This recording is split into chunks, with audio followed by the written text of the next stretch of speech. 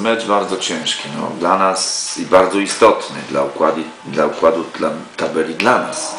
My jesteśmy na, na tym miejscu, na którym jesteśmy. Mamy 32 punkty, ale y, trzeci, ze, czwarty zespół spadający ma 27 punktów. Jest to mała, mała, mała, mało punkcików i ja zaczynam się patrzeć w dół. Co prawda nasze mecze sobotni i środowe gramy u siebie. Jeżeli byśmy wygrali, to na pewno na jakiś czas oddalamy się od tej strefy spadkowej i mniej nerwówki by było. A po drugie, no mówię, no, kluczowy dla nas w sytuacji, w jakiej znalazł się teraz nasz zespół, no jest sytuacja sportową się, sportową się nie boję, ale boję się o organizacyjną. Jest trochę nie tak, jakbyśmy sobie wszyscy tego życzyli, ale na razie nie chcę na ten temat się wypowiadać, poczekajmy. y, Na razie jest mecz, później przyjdzie czas na to, żeby to wszystko podsumować, ale na pewno nie taka sytuacja jak mi jako trenerowi nie sprzyja.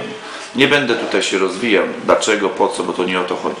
Ale ciężko mi jest, mówię, z podejściem do, do meczu. Mam nadzieję, że zawodnicy, ci co wyjdą na mecz, dadzą siebie wszystko. Gorąco było po prostu, no już e, wytrzymałości mojej drużyny, niektórych zawodników, no nie ma się co dziwić, po prostu wszyscy są, nie niektórych, cała drużyna jest e, po prostu zgordocowana już tym wszystkim.